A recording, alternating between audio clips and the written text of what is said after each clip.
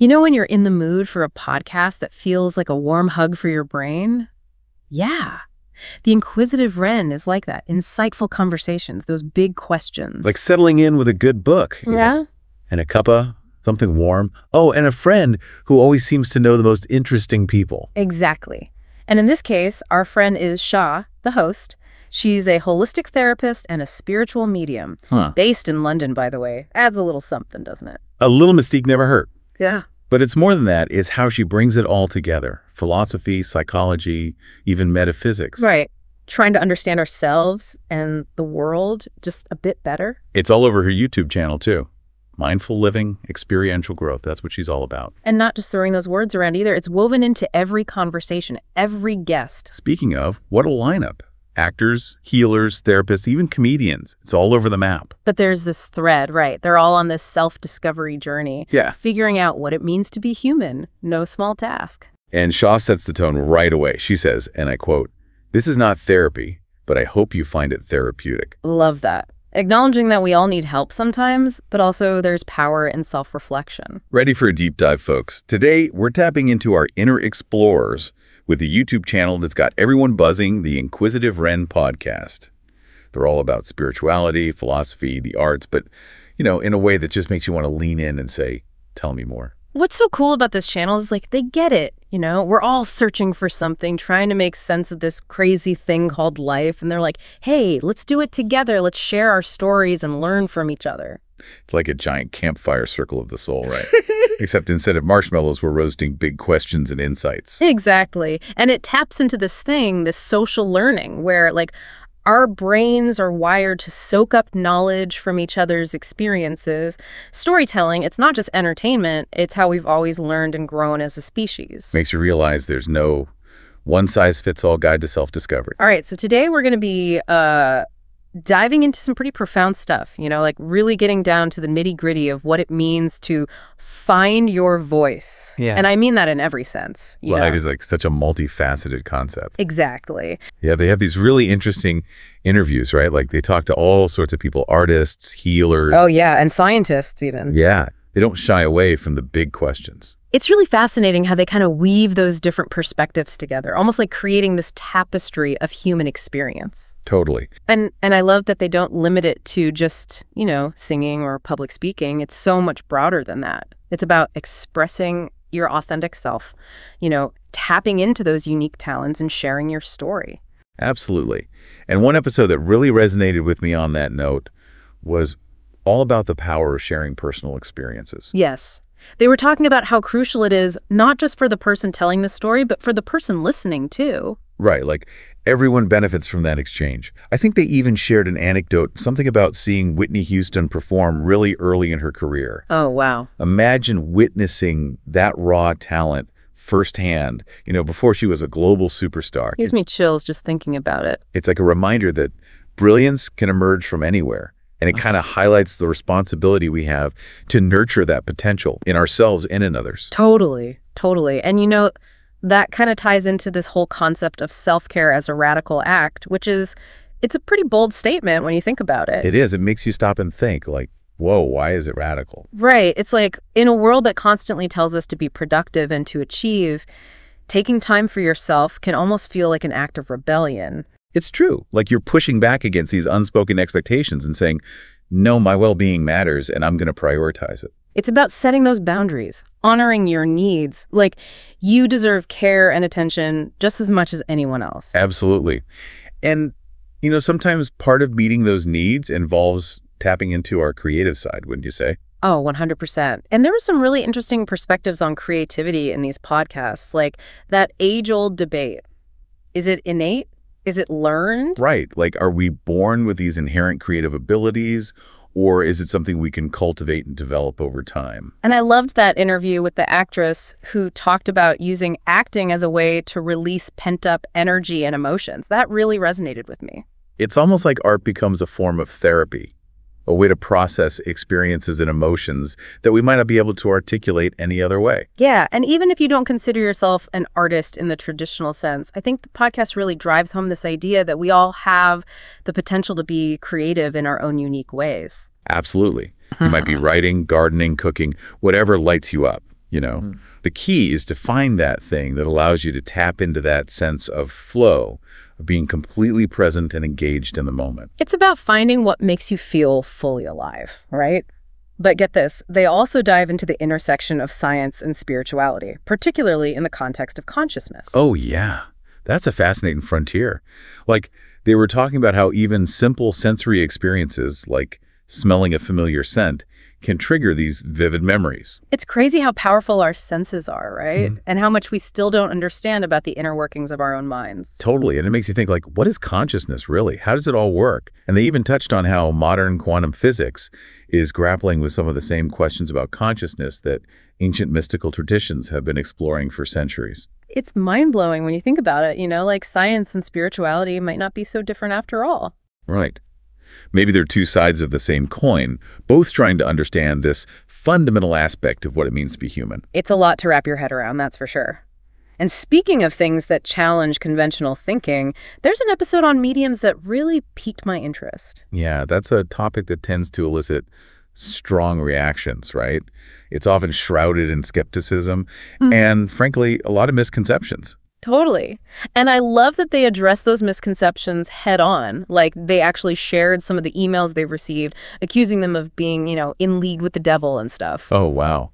It just goes to show you how deeply ingrained some of these beliefs are. It's wild, right? Yeah, it really highlights the importance of approaching unfamiliar concepts with an open mind. Even if they challenge our existing beliefs. Yeah. You know, what we think we know about the world is always evolving. Yeah, it's like people can be so quick to judge what they don't understand, you know? Totally. But anyway, they told this one story about a medium who was told they were like on the wrong side of the table. Can you believe that? What do you mean? So apparently someone told this medium that they should be the one reading cards, not having their cards read. Oh, wow. It's like talk about a limiting belief, right? Right. It really makes you think about how much we might hold ourselves back by, you know, putting ourselves in these boxes. Yeah. Like we might have all these hidden talents and abilities that we never even explore because we bought into this idea of who we are supposed to be. It's so true. We get stuck in those roles, you know? But speaking of exploring hidden depths, they also get into dreams as this pathway to self-discovery. Oh yeah, that was fascinating. Yeah. Like dreams as this secret language our subconscious uses to communicate with us. You know what I mean? Yeah. Yeah, like what messages are we receiving in our sleep that we might be missing when we're awake? Exactly. I think they interviewed a dream worker who was saying how they were drawn to that whole field after having like these incredibly vivid dreams themselves. Yeah. That makes a lot of sense. Like it kind of chose them in a way. But, you know, on its slightly different note, they also get into the topic of recovery, which can be, well, it can be a pretty loaded word. Yeah, it definitely carries a lot of baggage for people. Yeah. But they do a good job of like breaking it down and showing that it's not just about willpower or, you know, simply wanting to change. It's about making a real commitment to the process. It's a journey, right? Not a destination. Exactly. And it requires like a lot of self-compassion, patience, recognizing that there are going to be setbacks along the way. And it's not just about like the mental and emotional aspects either. They talk about how true recovery often involves addressing the physical as well, like taking care of your body. Oh yeah, for sure. It's about like treating yourself holistically, you know. 100%. And you know what else struck me? This recurring theme of like challenging conventional thinking. They had several guests who really embodied that, you know, people who weren't afraid to color outside the lines. Totally. Like there was that filmmaker who basically threw out the traditional filmmaking rulebook and was like, I'm doing it my way. Yes. And that really resonated with me because it speaks to this idea that sometimes you have to forge your own path, even if it means going against the grain. Absolutely. It's about trusting your gut even when everyone else is telling you you're wrong. A hundred percent. Because those unconventional paths, they can lead to some pretty incredible discoveries. For sure. It's like that's often where the real magic happens, you know, when you're willing to step outside of your comfort zone and embrace the unknown. And speaking of embracing the unknown, they also touch on this whole fascinating area of like positive thinking and its connection to neuroplasticity. Now, I'll be honest, I wasn't totally familiar with that term before. Yeah, it sounds kind of complicated, but it basically boils down to the brain's ability to change and adapt throughout our lives, you know. So it's not just like this fixed thing we're stuck with. Nope. Like every experience we have, every thought we think, it actually shapes our brain, you know, creates these neural pathways. Okay, so it's like the more we focus on positive thoughts and experiences, the stronger those pathways become. Exactly. It's like building mental muscles in a way. I like that. So it's not about like denying the negative or pretending everything's perfect all the time. It's more about consciously choosing to focus on the good, even when things are tough. Exactly. It's about shifting your perspective, Mm. you know, training your brain to see the possibilities rather than getting bogged down in the problems. And they had this great phrase. It was like experiencing without fear. Ooh, I like that. What does that mean to you? Well, I think it's about being open to new experiences, even if they scare you a little bit, you know? Hmm. Because when we allow ourselves to step outside of our comfort zones, that's when we grow. That's when we create those new neural pathways. It's like expanding your horizons, right? And sometimes that means taking a detour, going off the beaten path. And you know, the podcast also talks about how those detours, those unexpected twists and turns in life, they can actually be some of the most valuable experiences. Oh, absolutely. Like sometimes those detours, they lead you to exactly where you're supposed to be. Yeah. Even if you didn't realize it at the time. It's like that saying, life is what happens when you're busy making other plans, right? but those unexpected twists, they become part of your story. Yeah. And those detours, they kind of force you to adapt and to learn new things about yourself and to, you know, discover those hidden strengths you never knew you had. Exactly. It's like those experiences, they add so much richness and depth to, you know, who we are and how we see the world. For sure. It's like that's what makes a life, right? All those little twists and turns. It's not about following some straight line. Exactly. And speaking of like finding your own path, you know, it strikes me that this whole idea of finding your voice, it's not like a one-time thing, you know? Right? It's not like you just wake up one day and boom, there it is. It's a process. Totally. Hmm. It's more like this like ongoing journey of self-discovery with all its ups and downs. Absolutely. And it's those those messy, imperfect moments along the way that, you know, they really shape us. Deep down, we're all wrestling with the same fundamental questions, aren't we? And you know what else I noticed? So many of their guests, they're drawn to creative expression. It's like this common thread, this urge to create. Yeah. There's this whole concept of finding your voice that comes up a lot. I remember one guest, an actor, they talked about this struggle, you know, like a part of them was hidden, waiting to be unleashed or something. That feeling, though, that you're not truly expressing who you are. It's more common than we think. Psychologically, it's like when we bottle up our emotions, don't have a healthy outlet, they can get, well, stuck. Finding your voice. Mhm. It becomes about finding those outlets, those ways to let it all out. It's so true. Like when you know you should speak up or take a chance, but something holds you back. There was another guest, a musician. They talked about being terrified to pursue music professionally at first, all these doubts and fears. It takes guts, right? To really own your voice. You have to be willing to take risks, be vulnerable, authentic, even when it's scary. And you know what's interesting? This whole idea ties into things like cognitive behavioral therapy or CBT, you know, challenging those negative thoughts, pushing past your comfort zone. Oh, I never thought about it like that. So it's not enough to just discover your voice. You have to like give yourself permission to use it. Even when it feels, I don't know, a little wobbly at first. Exactly. And this musician's story, it's a perfect example. I'm curious, what was it about their journey that helped them break free? What gave them the courage to finally go for it? They talked about finding this amazing community of other musicians. It was like having this support system. Mm. You know, people who understood their struggles and cheered them on. There's something so powerful about finding your people, your tribe, especially when you're doubting yourself. It can make all the difference. Makes you wonder, though, what does finding your voice even mean, really? Good question. Is it about expressing yourself creatively, Mm-hmm. speaking your truth? Or maybe it's something deeper, like connecting with your authentic self. Maybe it's all of those things and then some. What I love is the Inquisitive Wren, they don't try to give a single definition. Each guest, they explore it in their own way, which is kind of brilliant. It's like they're saying, hey, this is your journey. No right or wrong answer, just your own unique path. And you know what else I find fascinating about their approach? This whole idea of creativity. They had a whole episode on whether it's something we're born with or if it's learned. That's a big one, right? It's like that classic nature versus nurture debate, but with a creative twist. It really is. And the Inquisitive Wren, they don't shy away from it, do they? Not one bit. I remember this visual artist they interviewed said something like, uh, we're all born with God-given gifts. You know, those creative sparks just waiting for the right moment to ignite. Definitely seem to be in the uh, born with it camp. It's a lovely thought. And there's some science behind it, too. We know genes play a role in certain traits, right? Like being open to new experiences or a little unconventional, things that tend to go hand in hand with creativity. So maybe we're predisposed to it in a way, but that doesn't mean we automatically become creative geniuses, right? Exactly. That's where the nurture part comes in. Think of it like, I don't know, a tiny seed. You might have the seed of musical talent, but it needs the right environment to grow. Nurturing, practice, surrounding yourself with music, that's how it blossoms. It's like that saying, talent without effort is like a Ferrari without gas. You're not getting very far, are you? Not very far at all.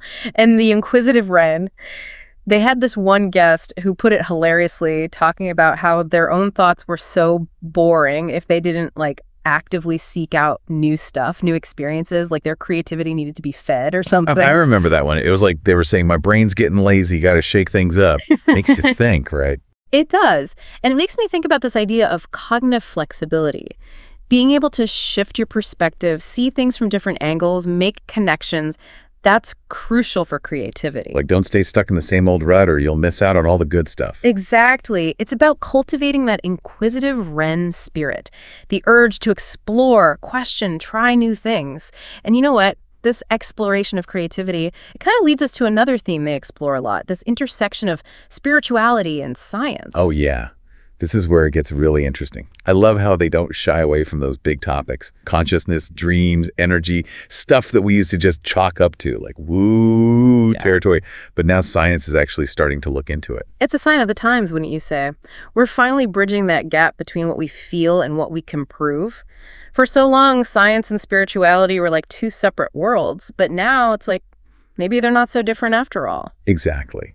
And the inquisitive wren isn't afraid to, you know, go there. And then there was that other episode with the physicist talking about time travel. Can you believe that? Time travel from a physicist. Sounds like the inquisitive wren, all right. What was their take on it? It was all about quantum physics and how it challenges everything we thought we knew about time. You know, like maybe it's not linear, maybe we're not limited to moving forward. No, that is mind-blowing. Quantum physics. It's like the wild west of science. You never know what you're going to get. It's like they're saying, hey, what if we've only scratched the surface?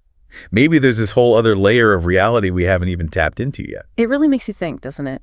And the inquisitive wren, they're not saying they have all the answers. It's more like, let's ask the questions together. Which I think is so refreshing. You know, Sure. in a world that's always pushing for answers, they're giving us permission to just be curious. And to find those connections, those unexpected intersections between things like, well, spirituality and science. Like they're expanding what's possible, you know? Totally. And isn't that what being an inquisitive wren is all about? Exactly. It's about staying open, staying curious, and never losing that sense of wonder. Because hmm. who knows what we might discover when we do. Beautifully said. Trying to understand ourselves and the world just a bit better. So much of it comes down to who believes in us early on, but finding your true self, what you stand for, and having the guts to actually live it. Easier said than done, am I right? Because we see it with Shaw's guests, right? That fear of judgment. Like, are people going to get me? The pressure to just fit in. Totally. Hmm. And what I like is Shaw doesn't shy away from that. She makes it okay to say, yeah, that's real. I feel that too. It's about facing those fears, not pretending they're not there. And she even talks about this idea of suppressed energy. Like, if you keep holding back, it's got to go somewhere, you know? Oh, for sure. Might look like physical stuff for one person, anxiety for another. It's all connected. And Shai gets that. Her therapist background shining through. Definitely. It's that mind body connection, can't separate them. Our emotions, our spirit, it all affects our well being. And she brings that into all these different areas. I mean, we've talked about creativity, but she's also got dreams, alternative medicine, Yeah. even like the science of consciousness. Wild. It's true. A little something for everyone, right? Right. But here's the thing it's not all serious, heady stuff, even with those topics. Shaw keeps it light. Oh, yeah. Having those actors on, comedians, musicians, there's this humor woven in. It's a good time. It really is. You feel like you're part of the conversation, not talked at, you know? Exactly. And that's why it works. Not telling you what to think, but sharing, prompting you to figure out your own path, your version of finding your voice. Because in the end, aren't we all just trying to connect, belong, mm. especially these days? And the inquisitive wren, it offers that in a way. That feels kind of timeless, you know, like a virtual campfire, sharing stories, realizing, hey, we're all in this together. And isn't that comforting? just knowing you're not alone in those big questions. For sure. Makes those questions a little less scary, right? Yeah. And that brings us back to that idea of finding your voice. What does that even mean? Yeah. Is it like shouting from a mountaintop? Or is it more like a quiet knowing inside yourself? Right. There's no one answer, is there? It's got to be personal. It's about what lights you up inside. And then the scary part, Yeah. letting it out into the world. And maybe the inquisitive Wren is that little nudge Yeah. to remind you to embrace your own voice. Yeah. Because it matters. The world needs it, you know? Your story, your take on things. Don't keep it to yourself. Couldn't agree more. So there you have it, folks. Looking for a podcast that'll make you think, make you feel, maybe even surprise you a little. Give the Inquisitive Wren a shot. She'll take good care of you. Well, folks, there you have it. Another deep dive in the books. If you're as intrigued by the Inquisitive Wren podcast as we are, you know what to do. Go check them out. You won't regret it. And until next time, keep exploring those big questions and keep that inner inquisitive Wren alive and well.